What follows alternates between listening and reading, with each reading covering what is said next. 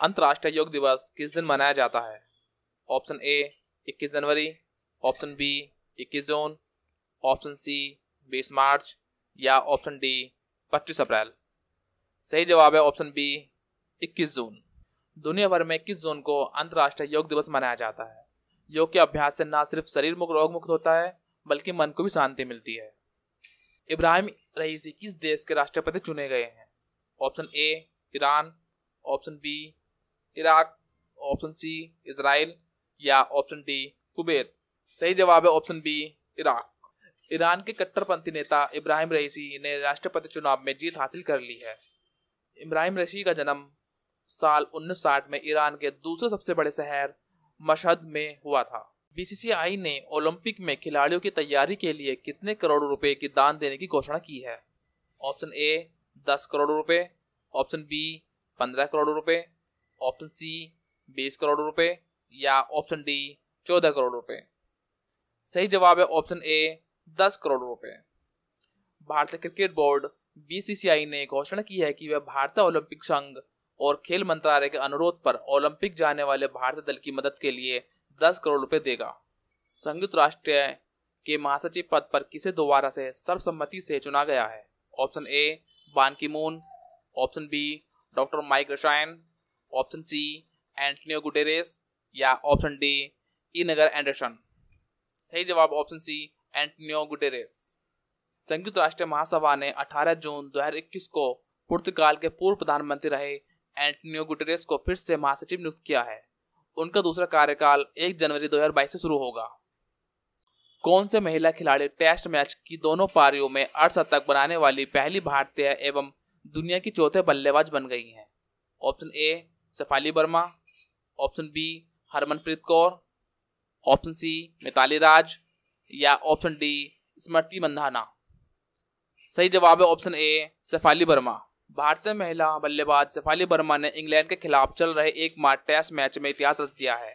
शेफाली वर्मा एक तरफ़ जहाँ डब्ल्यू टेस्ट मैच में सबसे ज़्यादा रन बनाने वाली भारतीय महिला बन गई तो वहीं दूसरी ओर डब्ल्यू टेस्ट मैच के दोनों पारियों में अर्थ शतक पारी खेलने वाली पहली क्रिकेटर बन गई हैं। कनाडा के प्रधानमंत्री जस्टिन टूडरो ने देश के सुप्रीम कोर्ट में पहले किस अश्वेत व्यक्ति और भारतवंशी को जज के रूप में नामित किया है? Option A, Mahmood Jamal. Option B, Srinivasan. Option C Vijay Shankar या ऑप्शन डी, राहुल सचदेवा। सही जवाब है ऑप्शन ए, महमूद जमाल। भारत मूल के न्यायाधीश महमूद जमाल ने इतिहास रच दिया है। जमाल को कनाडा के उच्चतम न्यायालय में नामित किया गया है। इसके साथ ही वह देश के शीर्ष न्यायालय में नामित होने वाले प्रथम ऐश्वेत न्यायाधीश हो गए हैं। हाल ही में किस अफ्रीकी देश में एक हज़ार अट्ठानवे कैरेट के दुनिया के तीसरे सबसे बड़े डायमंड की खोज की गई है? Option A, Ghana. Option B, Botswana. Option C, Kenya. या ऑप्शन डी, अल्जीरिया। सही जवाब है ऑप्शन बी, बोत्सवाना। हाल ही में अमेरिका देश बोत्साना में एक हज़ार अठानवे कैरेट के दुनिया के तीसरे सबसे बड़े डायमंड की खोज की गई है।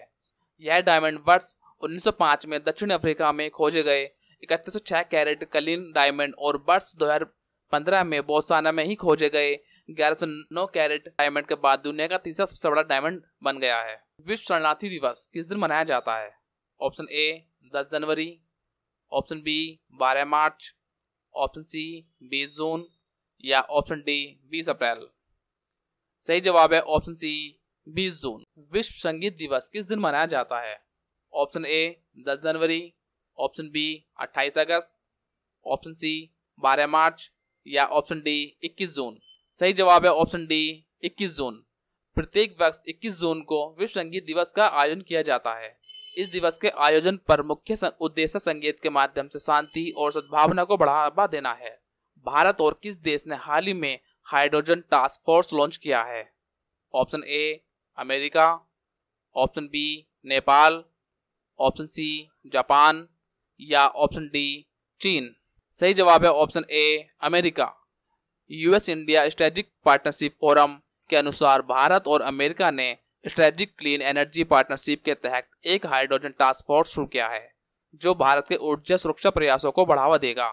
हाल ही में किस राज्य सरकार ने एक वर्ष पाठ्यक्रम योग विज्ञान को शुरू करने की घोषणा की है? Option A Punjab. Option B Delhi. Option C Bihar. या ऑप्शन डी झारखंड। सही जवाब है option B Delhi.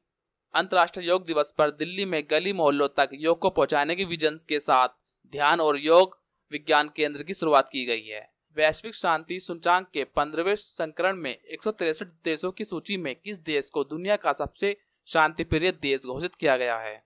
Option A, Nepal. Option B, Iceland. Option C, Bharat. या ऑप्शन डी, चीन। सही जवाब है ऑप्शन बी, आइसलैंड। आइसलैंड को दुनिया का सबसे शांति प्रिय देश घोषित किया गया है। इस सूचांक में भारत को एक स्थान प्राप्त हुआ है।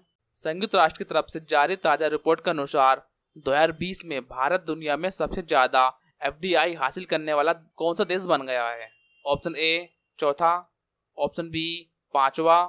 ऑप्शन सी, तीसरा। या ऑप्शन डी, पहला। सही जवाब है ऑप्शन बी, पांचवा।